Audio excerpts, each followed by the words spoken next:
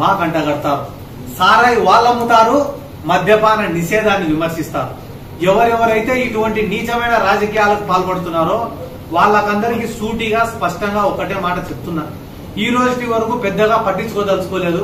మీరు చేసిన హత్యా రాజకీయాలు మీరు చేసిన సారా వ్యాపారాలు టేకు వ్యాపారాలు టుంక్యాకు వ్యాపారాలు అలగనూరులో కమిషన్లు శ్రీ ఇది మన ఏ- ముచ్చుమర్రి ఎత్తిపోతల పథకంలో కమిషన్లు కేసీ కెనాల్ మోడర్నైజేషన్ వర్కులలో కమిషన్లు ఎంతమందిని హత్య చేయించినారు?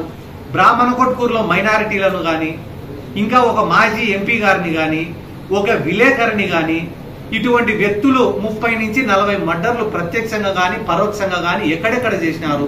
ఈ రోజు ఉనికి కోల్పోతున్నారనే ఉద్దేశంతో గ్రామాలలో ఏ రకంగా ఫ్యాక్షన్ని రెచ్చగొడుతున్నారో అన్ని బహిరంగ చర్చకు నన్ను రౌడీ అని ముద్ర వేస్తున్నారు కదా మీరు చేసిన హత్యా రాజకీయాల గురించి బహిరంగ చర్చకు నేను సిద్ధంగా ఉండా.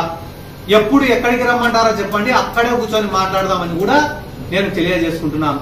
మరొక్క విషయం ఇంకొక్కసారి ఈ రోజు నుంచి నందికొట్కూరు నియోజకవర్గంలో గాని గ్రామాలలో గాని ఏ ఒక్క అమాయకుడి పైన చెయ్యి పడినా కూడా చెప్తున్నా డైరెక్ట్ దాడులకు కూడా నేను తెగబడతానని చెప్పి తెలియజేసుకుంటూ ఈ రోజు ఇక్కడికి వచ్చిన వాళ్ళకందరికీ నా కృతజ్ఞతలు తెలుపుకుంటూ జగనన్న నాయకత్వాన్ని బలపరిచి మన రాష్ట్ర ప్రజలకందరికీ సంక్షేమ పథకాలు అందిస్తామని కూడా తెలియజేసుకుంటూ నందికొట్కూరు నియోజకవర్గంలో గాని గ్రామాలలో గాని ఏ ఒక్క అమాయకుడి పైన చెయ్యి పడినా కూడా చెప్తున్నా డైరెక్ట్ దాడులకు కూడా నేను తెగబడతానని చెప్పి తెలియజేసుకుంటూ ఈ రోజు ఇక్కడికి వచ్చిన వాళ్ళకందరికీ నా కృతజ్ఞత